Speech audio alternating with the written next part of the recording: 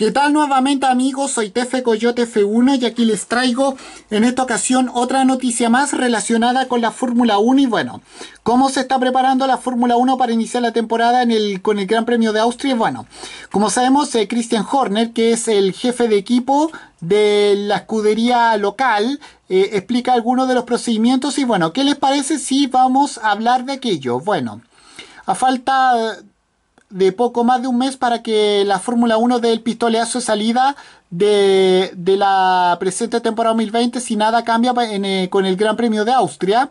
Eh, bueno, eh, Christian Horner, jefe de la escudería Red Bull Racing, que es además la escudería local, que además es la escudería local en el Gran Premio de Austria, se ha mostrado positivo y ha explicado las varias medidas de seguridad que ha estudiado para hacer que el evento esté lo más controlado posible. Y bueno, eh, bueno, espero que haya mucha seguridad eh, eh, con el inicio de la Fórmula 1 este año.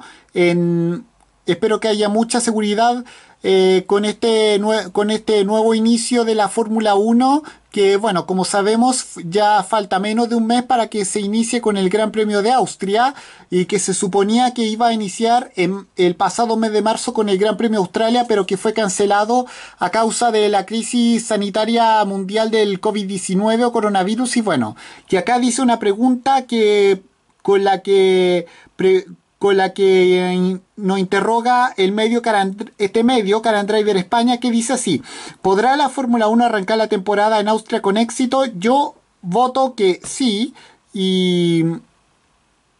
Y bueno, salió un 93% y bueno, y un 7% que no. Bueno, con esto me despido, adiós, que me fuera, chao.